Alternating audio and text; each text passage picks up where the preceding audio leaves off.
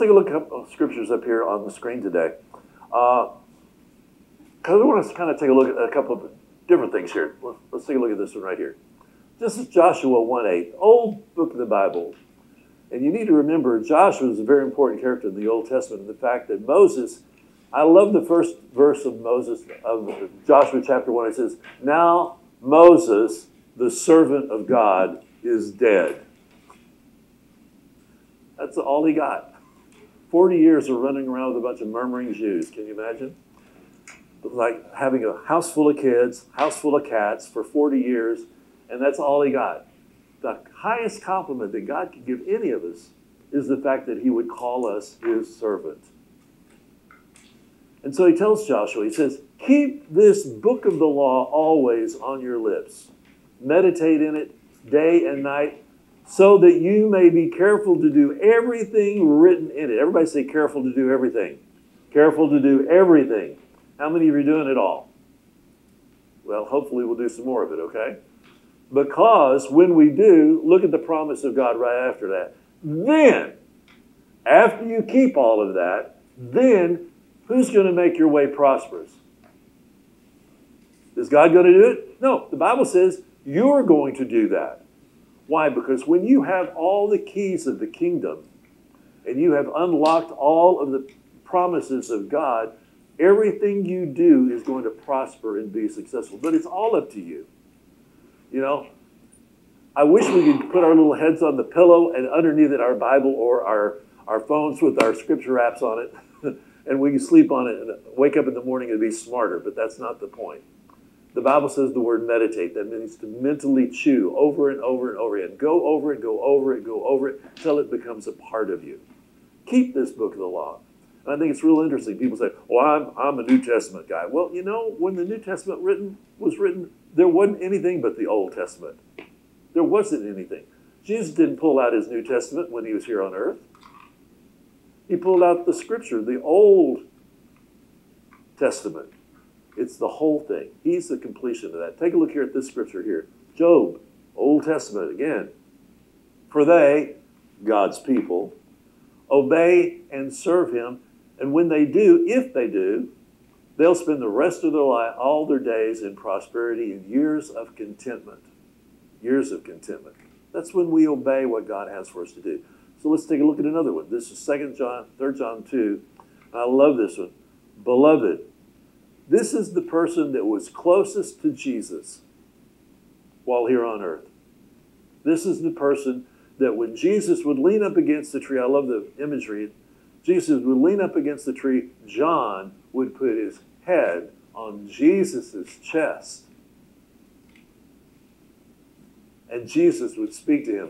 There is no person on earth that was closer to him than John. And here's what John says Beloved, I pray that you may prosper in all things and be in health, Kay, just as your soul prospers. That means this has got to prosper. You got to do that by spending time in God's Word.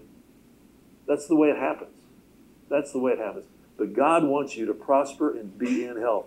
You know, I want to live a long time, but I want to live a long time well. I want to live a long time well.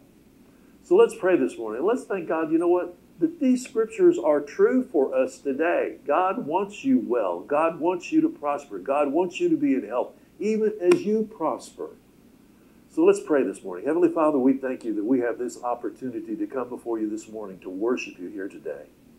And Father, we thank you that you love us with an undying love. You have made a way for us to spend eternity in heaven with you. So, Heavenly Father, this morning, it's a great privilege and honor that we come before you to worship you now in our giving. Because, Father, you have prospered us. You have blessed us. We have been blessed coming in and going out, and everything that we put our hands to do is blessed. So, Father, it's easy to come to worship you this morning with our giving. So, Heavenly Father, you speak to our hearts this morning. You speak to our hearts as to how much we should give this morning. How much have you prospered us this week? How much have you blessed our businesses? How much have you kept us safe? Father, we bless you this morning with our giving. And we do it in Jesus' name. And everyone said, Amen and amen. And we give by a little simple giving app. If you want to take a picture of the QRL there, that's an easy way to do it. Takes you right to the Givelify app. I like it. The fact that it gives, did everybody, you should have gotten a, a notice from the end of the year about your tax giving because it should send it out to you. And if you don't, you go right on there if you've not already done your taxes. And I sent you one out. Hopefully they, they corresponded well. If not, let me know. But that's the way that we always take care of the accounting on all of your giving for the year for your taxes as well. They send that out. But I'm thankful that everybody's here today. I'm glad that Robert and Brian made it back from Germany. And where where all did you go? Italy. You went with family, didn't you? Did, did you make sure they had a good time? Oh, good. I know people don't want to go on vacation with me because we were going from like seven o'clock in the morning till eleven o'clock at night. We like we're going to see it all while we're there, whether you want to or not. I will drag you. We will go. Now, for the last couple of weeks, eight weeks to be exact, we've been talking about rethinking your life, rethinking your thinking. Some of us have had some bad thinking. Excuse me. You've, you've had bad training, you've had bad teaching. Some of you have had wrong ideas, and that's the problem, especially with our community and the fact that they have not always heard the truth of God's word. They've heard people who have used the word of God to diminish other people and society groups and things like that around the world. They've done it for years. This is not new. It's not new. We should be used to it by now. But with all of that, with all of that, what we have had is we've had a lot of mental abuse and mental pain and suffering. So, what I want to do today is I want to think about changing how you think about pain. How many have ever had pain before? If you haven't, I want to know your secret, okay? Because every one of us have endured some kind of pain. Every one of us have. And Paul uses the word, well, the Greek, not just Paul, but the, the Greek word metanoia is the word how we change our thinking. Change our thinking. You know, the word in the Bible that they use for that is the word repent. We've also, you know, most people have heard that repentance is a bad thing. You know, you need to repent. They throw that word around. No, it simply means to change your thinking. Change your thinking from the way you're thinking to the way God thinks. So this morning, I want us to think about pain the way God thinks about it. I want us to think about pain the way God sees it. Because I tell you, pain is not something that you really want to endure a lot of. And you want to make sure that you're doing something with it when you have it. Pain is not something you want without results, without something good coming about. So I want us to take a look at what Solomon had to say. Solomon is the daughter, the son rather, of, of David and Bathsheba. He's the miracle that came as a result of that. He makes this statement in Ecclesiastes. He says, so, what do people get for all of their hard work and struggles here on earth? What do you think we should get? I mean, I've worked a long time. I've worked a minimum of two jobs my almost my entire life, except for the last three years. I was telling Missy this morning. It was four years ago this week that I had finished speaking. Many of those of you who are new don't know that I've had a lifelong career of public speaking. And I was speaking in, in New Orleans four years ago today, and it was interesting that they that was when they had announced that New Orleans was the super spreader because of all of Mardi Gras and things like that. And that was the last week that I spoke professionally outside of church. And it's just interesting. And I said, so what do people get for all of their hard work and their struggles in life? What do you think Solomon would make us give us this understanding? He says this right here. Their entire life is filled with pain. That's what you get for a long life of work for their life, for their work is unbearable. Even at night, their minds don't rest. It all seems so pointless. I think it's pretty sad. But when you take a look at the pain that he's talking about here, it will change your mind. It will change your mind. You know, to me, this is a very relevant text. I'll tell you about it. Their entire life is filled with pain and their work is unbearable. Well, what I will tell you about pain, and we'll talk about it today, scientific studies have documented that human beings are able to handle enormous amounts of pain if, everybody say if, if we know there's a good purpose for that pain. If there's a good purpose for that pain. I know we have three moms here who've had kids Linda and Debbie and Kay. Was there some pain involved? Was I mean, sitting next to him, was there any pain involved? A little, little. Now, I was present for each of my four daughters' births. I was there. I can tell you, that wasn't a walk in the park. One of one of my kids, they didn't think that Joan was in labor, so they gave her a sleeping pill so she could go home and get some rest. That sleeping pill, all it did was make her groggy and grout, and she was. They thought it was Braxton Hicks, false labor. Take this pill, go home, get some rest, and then we'll see you in a few days. They never stopped. We were back at the hospital about four hours later, and she was having contractions. Of course, she couldn't handle them because they'd given her this drug to make her sleep. And I, I remember she was just about ready to throw anybody, including me, around the room. There was so much pain going on. And I looked at her and I said, It's going to be over in a little bit. in a little bit. That's exactly, Keith. She wanted to slap me upside the head. It was like when Melody, uh, those of you that have ever been to Six Flags, uh, when Flashback came out, Melody was riding in the car with me. Joan was in with Abigail, and Spice and Charity were in, uh, in one of the little cars together. And we had gone through all of these loops and hoops and things like that, and stops right halfway through. And Melody's just screaming, I want off, I want off, I want off. And I said, We'll be off in about 30 seconds as we went back, went back the whole thing. The whole point is, is that when you're in the middle of that pain, you want out of it. You want out. Promise you. That's the reason why they have the husbands there to coach, to coach them, breathe, breathe. I remember all the lessons, all the classes that we went to, and all the work that we did for no reason because it's just, you know, Joan was saying, I want an epidural. I said, It's too late now. We're going through this. The pain is incredible. But afterwards, when you're holding that baby and you're looking into their eyes and they're so fresh and they're fragile and they're helpless, that mom begins to forget that pain. Now, my mom reminded me of that pain almost every day of my life. Almost every day. You realize how I, I, I get it, I get it. But what are you doing with the pain?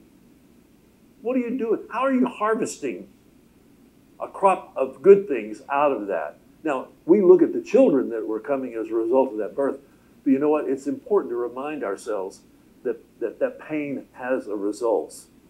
Has results. Paul makes this statement over here in Romans. He says, We know, everybody say, We know. We know it. We know in all things God works for the good of those who what? Who love Him. Now, I've seen a lot of people go through a lot of tragedy in their life, and they didn't love God, and that tragedy was painful, and there was no good results out of it. But God promises us good results out of every pain in our life as long as we remember His purpose. That's the thing. We know in all things God works for the good of those. It doesn't say all things are good. It does not say all things are good. It just says that He's going to work for our good in all things, no matter what they are. And here's the reason why. Who have been called according to His purpose, His purpose. We know His purpose. His purpose is to bring us to Him. That's His purpose. He wants us to spend eternity with Him. He loves us. He loves us. He loves us. Our community needs to hear that more than anything else. He loves us. Our Heavenly Father loves us, regardless of what anybody else says. You can't take away what the Bible says you should let the Bible speak for itself. God works for the good of all of those according to his purpose. His purpose.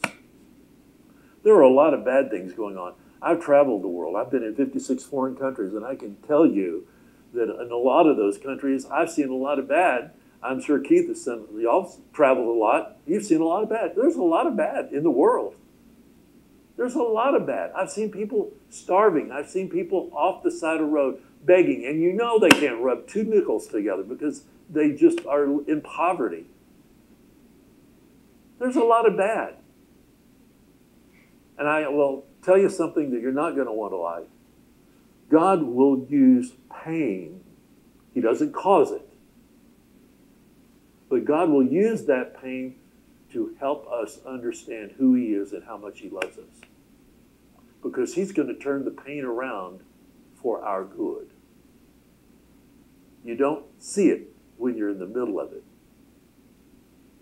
I can guarantee you, Joan didn't see any good out of anything going on in labor and delivery, saw nothing good going on. But I guarantee you now, all of those daughters are things that she's proud of more than anything else. Sadly, most people waste their suffering. People don't know that you're supposed to be getting something out of that while you're going through it. People only are like, you know, what we're seeing with the new Hubble and the Webb telescope. We're seeing all these black holes. Things so powerful that they're pulling and bending light rays even in towards themselves. Light can't even get out. There are so many people in the world like that that see the pain as something that they're going through that they can't see any good thing coming out of it.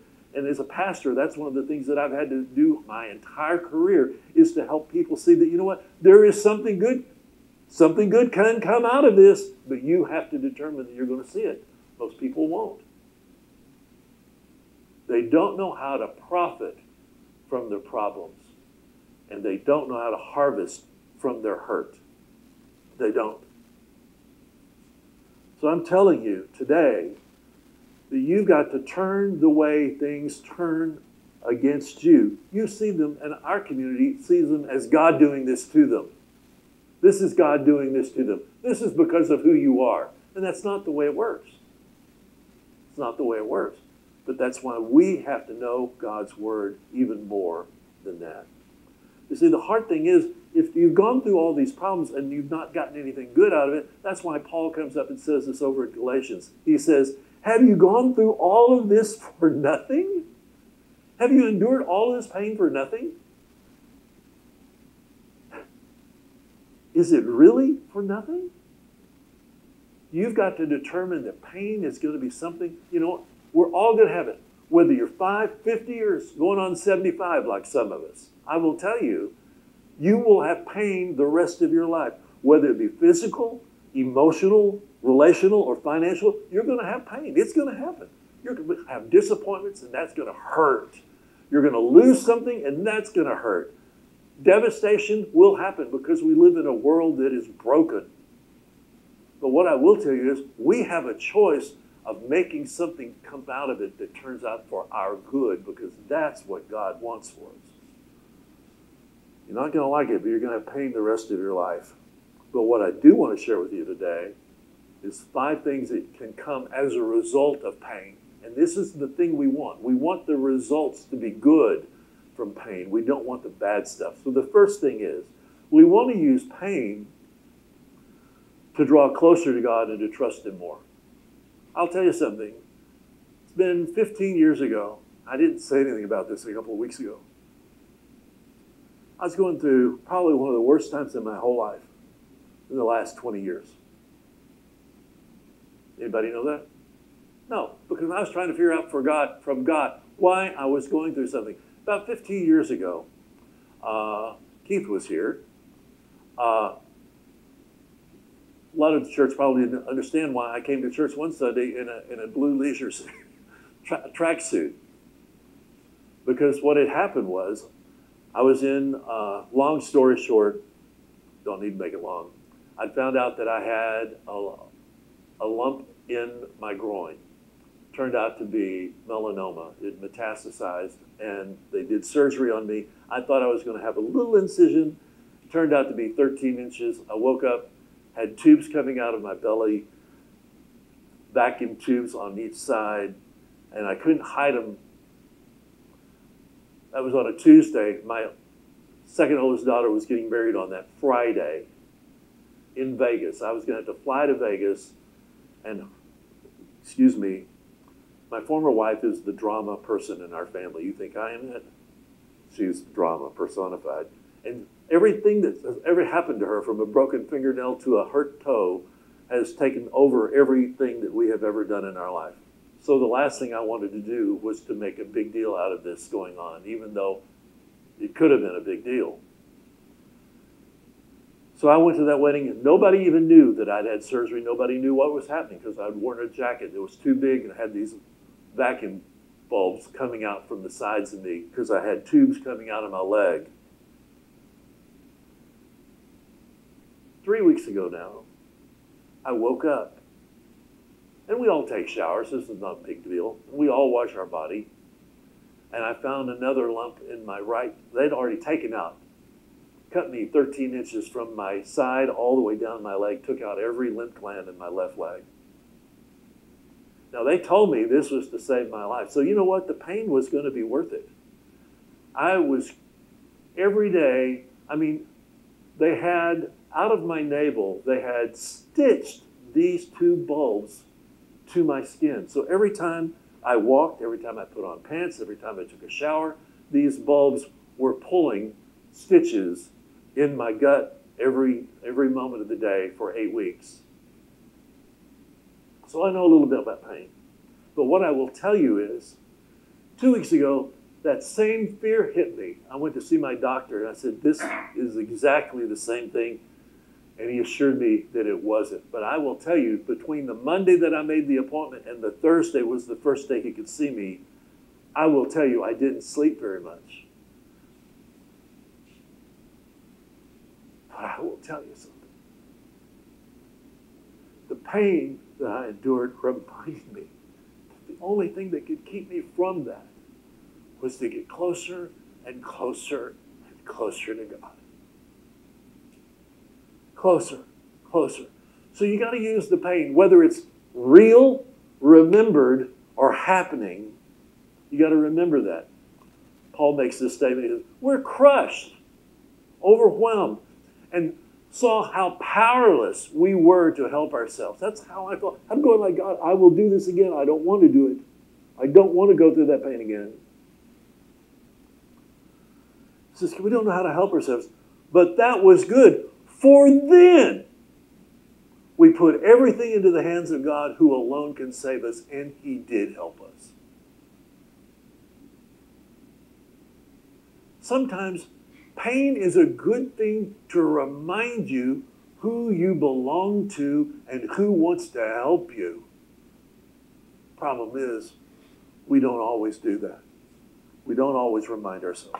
We'll get a little, we get, we get going and things go really good, sixes and sevens, everything's happening well, and everything's going well, and we forget that, you know what? We live in a broken world and the enemy is just trying to pull the carpet out from under you. Trying. Look over here in 2 Corinthians 7. Paul says, I'm glad, not because it, your troubles, I put that in there. I'm glad not because it hurt you, but because the pain turned you to God. How many of you ever been in pain and says, God, just take this pain away? Just take it away. I mean, it may not have been physical pain. It might have been emotional pain. Just take this hurt away. Because we cry out to God. Another reason, you know, these are five purposes of pain right here. Second one is here. It's coming up. Use pain to draw closer to others in fellowship. You know what? You need to remind yourself that other people sometimes are going through the same pain you've gone through. Yeah. It's good. It's good. I've gone down to people, I've seen people. Uh, I remember when the doctor made an appointment for me after a bad report came back and took me, walked me, my doctor walked me in Presbyterian Hospital from his office over to Texas Oncology in another building in, in Presbyterian over on, on Walnut Hill, made me an appointment. And I sat down in there and I thought I didn't feel any different before they did the surgery till afterwards. And you know what? I'm looking around and these people are sick. They're sick. they've got that grayish, greenish kind of look to their skin, you know that they're not well. And you're sitting there and you feel good. You feel good. And you're going, thank God. Thank God. It draws you closer. If it doesn't, there's something wrong with you. There's something wrong. Galatians, Paul says it here. It says, by helping each other with your troubles, with your troubles, you truly obey the law of Christ. When you've got a situation going on and you feel like it's going on in somebody else, you know what? It feels good to go and talk to them. It feels good to have somebody you can pray for and with about what's going on. You know what? They may not have anybody, but you hear about it and you want to go help them. You want to go help them. You want to go help them. Another reason to call it is to use pain to grow deeper in your relationship with Jesus. Proverbs 20 says, oh, sorry. Proverbs 20 says this Sometimes it takes a painful experience to make us change our ways. We don't, we don't change because we see the light. We change because of the pain or the fire. We don't, things, when things are going good, uh, why should I change? But boy, when the pain begins or the fire turns up, then we have the tendency to want to make a change. Over here in Hebrews, Paul makes this statement. He says, even so, even though Jesus was God's son, even though he was God's son, he learned obedience from the things he suffered. Pain is a good thing. I don't want it, but I'm going to learn from it. I'm going to learn that God has a reason for that and not walk away and not come out of anything other than I've got bad memories of pain. Look over here in, verse 9. He says, Suffering made Jesus perfect, and now he can save forever. He can save forever all who obey him. Paul turns around in Corinthians uh, 7. He says, Now, isn't it wonderful all the ways in which this distress has goaded you closer to God now? Isn't it? You're more alive. You're more concerned. You're more sensitive, more reverent, more human, more passionate, more responsible. When you come through something, you come through with a different perspective. I could be dead now. That's a perspective. Why am I still here? Because I've got a reason, I've got a purpose. These five things we're talking about are the purpose that you come out of having had pain, some hurt on the inside. He goes on to say, you look at it from any angle, you've come out of this with purity of heart. The reason why is you're, you're conscious, you're breathing, you're alive. You understand that God has got you and He wants to purify that perfect heart of yours. He wants you to be closer, He wants you to be deeper, closer to Him. Know, we talked about Paul's testimony several times. Um, it's kind of small, but I'm going to read it to you. It starts over here, says, I've worked much harder. This is Paul. He says, I've worked much harder, been in prison more frequently, been flogged more severely, and been exposed to death again and again. Five times I received from the Jews 40 lashes minus one. Three times I was beaten with rods. Once I was pelted with stones. Three times I was shipwrecked. I spent a night and a day in an open sea. I've been constantly on the move. I've been in danger from the rivers, in danger from the bandits, in danger from my fellow Jews, in danger from Gentiles, in danger in the city, in danger in the country, in danger at sea, in danger of false believers. I have labored and toiled and have often gone without sleep. I've known hunger and thirst and have gone without food. I've been cold and naked. Besides everything else, I face the daily pressures of my concern for all the churches.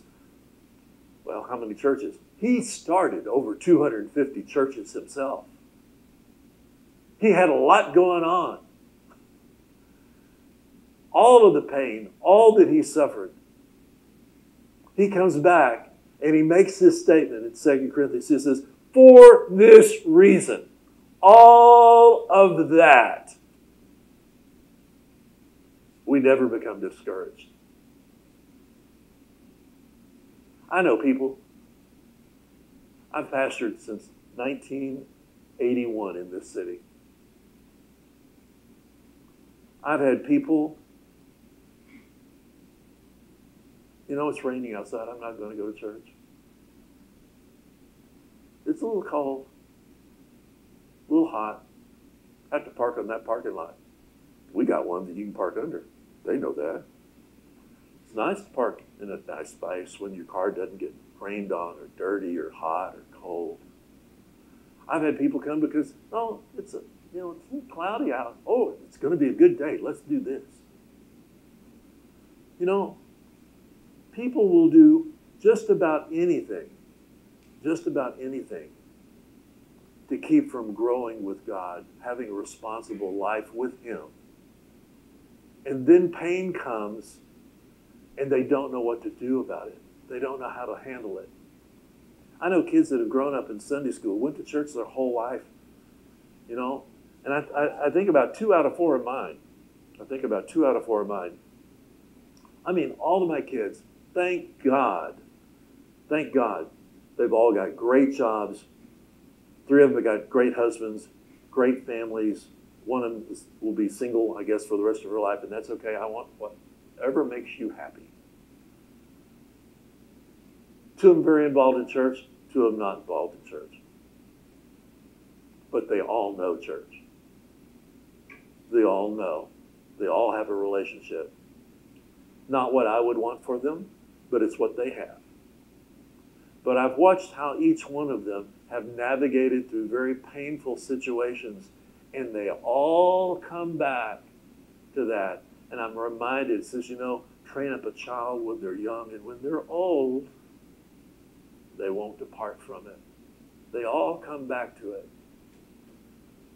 when we have pain, when we have devastation come from seemingly nowhere, blindsided by something that just tears us apart, for this reason, for this reason, we never become discouraged. Even though our physical being is gradually decaying. Yet our spiritual being is renewed day after day. While all of our bodies is weakening, our spiritual side is strengthening. And these temporary troubles, all of that, temporary. He's looking at all that day after day after day after day. He was chained between guards majority of the time when he was in prison. And he was dictating to Timothy the books of the Testament that we read today. Timothy was scribing them down. And the thing that I think is amazing is he, instead of looking at it like, I'm in jail, I'm held captive in the worst place of all, keeping me from going out and doing what I'm supposed to do, he recognized that I've got a captive audience. And every day, these guards are changing, and every day I'm talking about the power and the miracles of God. And I may, he had his feet broken. When it talks about these, these being whipped, his feet were put into shackles. Beaten with rods means that every bone in his feet were broken. And yet he would get up and go travel somewhere, hobbling along. There's Paul. Can't stop Paul. He's like an Eveready battery. He will not stop. For this reason, we never become discouraged. Why? Because he realized that as he spoke in all of that, people listened. Because he said, he goes on to say, and here's the reason. He says, much greater than the, back it up, let's read it. And these temporary troubles we suffer will bring us a tremendous and eternal glory much greater than the trouble. What I see coming is much more powerful than what I've been through or what I've endured. For we fix our attention not on things that are seen, but on things which are unseen. What can be seen lasts only for a time, only for a moment, but what we cannot see lasts forever. He had an understanding of what's coming is more powerful and more lasting than any moment of pain, no matter how long it might last.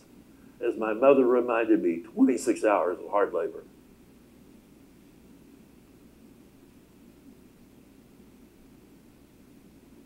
He said, This life is but a flash, just a moment. Just a moment. Now, isn't it wonderful? It's powerful. Look here. We should use pain to be more sensitive in serving other people. I'll tell you, go to the hospital, go visit some folks, go to a nursing home, walk down those aisles. You'll, you'll see what warehousing is all about. All about people taking advantage of old people who have no family, who are lonely, who are hurting. You should walk down those aisles. Pray for those people. It'll give you an understanding about empathy, no matter how old or young you might be. But Paul says over here in Second Corinthians, he says, God comforts us in all our troubles so that we can comfort others. Then, when others are troubled, we'll be able to give them the same comfort God has given us. Why? Because we know God. Other people don't. If they do, they may not know Him quite like we know Him. You can be sure that the more we suffer for Christ, the more God will shower us with His comfort through Christ.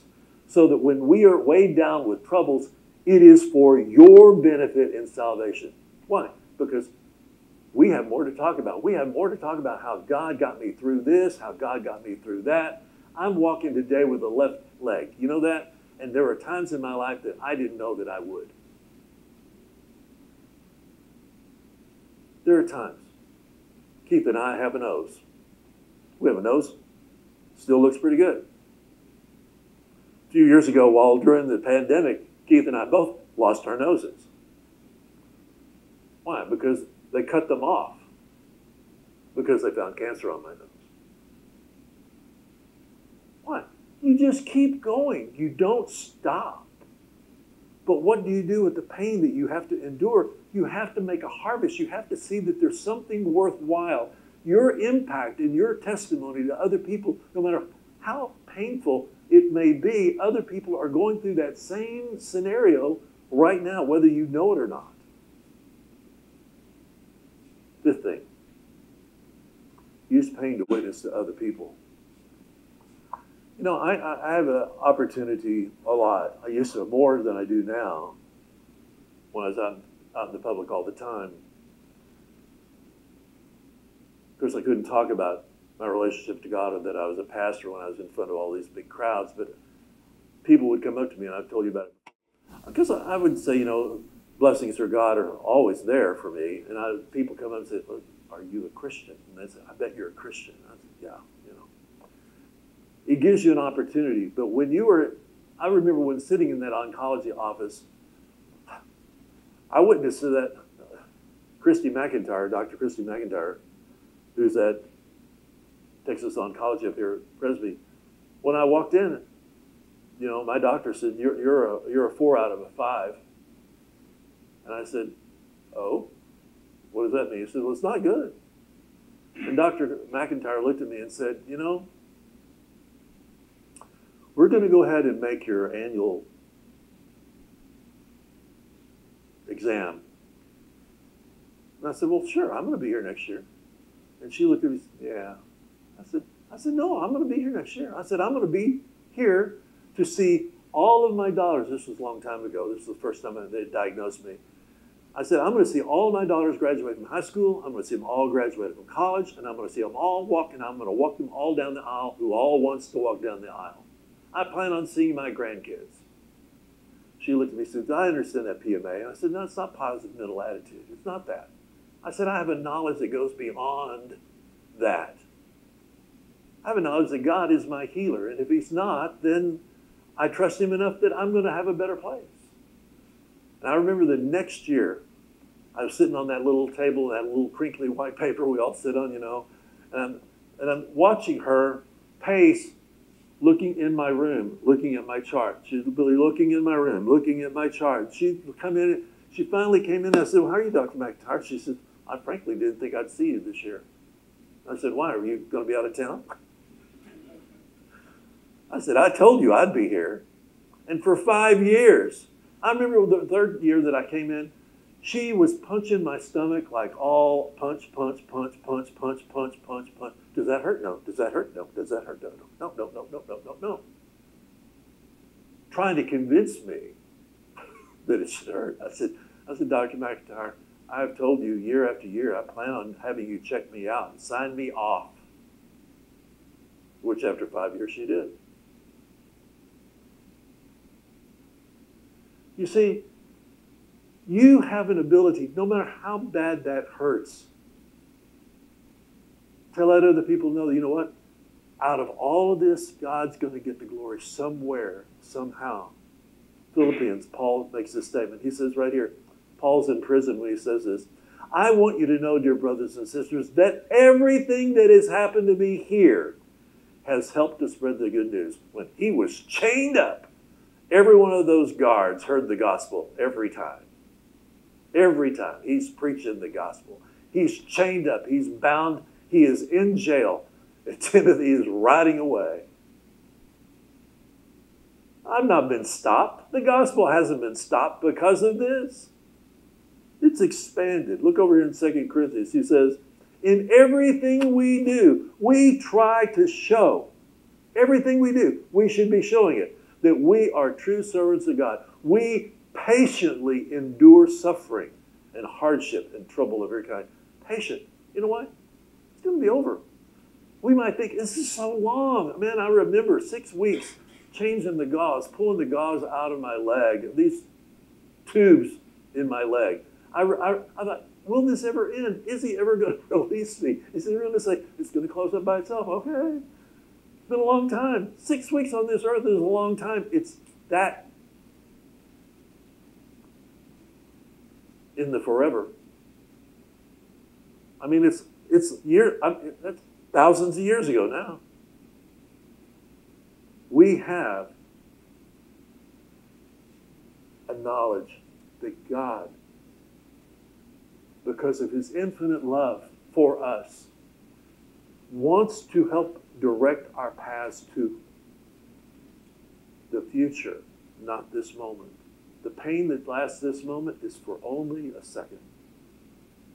So, I got some homework for you. Don't waste your pain. When something happens and it's devastating, devastating. I want you to get alone this sometime this week, and I want you to write down the four most painful moments in your life. Just get alone. Take a little three by five index card. Just write them out. Put them on notes on your on your phone. The four things. Then I want you to find and think about four people who are going through those same four things. And invite them next Sunday because we're going to find out what to do with resilience and getting back from all that pain. So that's my message next Sunday resilience, recovering from trauma and pain. And I promise you, it will change people's lives. Think about it. Do you know somebody that's going through the same kind of pain that you're going through? They don't have to. They don't have to. We serve a God that loves his kids eternally and has made a way for us to spend that eternity with him. And his name is Jesus. Let's pray. Father God, this morning we're so thankful that we have a God that is our healer. He heals every part of us our mind, body, soul, our emotions, our finances. He heals every part of our life. Heavenly Father, we are so thankful. So thankful that we don't worship a dead God that can't move even a mouse. But we serve a God that will move heaven and earth to show us how much He loves us. Heavenly Father, this morning we thank you for Jesus. We thank you for sending him here to walk as a human being, to suffer and understand what pain is all about and how much you loved us when you sent him here. So that we know that we have a survival after this.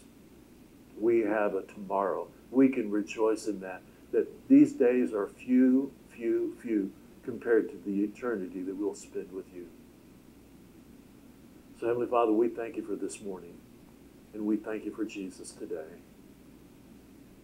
And Father, we thank you that we can be set free from pain and the memory of it and knowing that it's just a second. Heavenly Father, we love you today and we worship you in Jesus' name. In Jesus' name. And everyone said, Amen and amen and amen. Well, be sure to give everybody a big squeeze before you go, and we will see you back next week and bring some folks with you next Sunday. God bless you.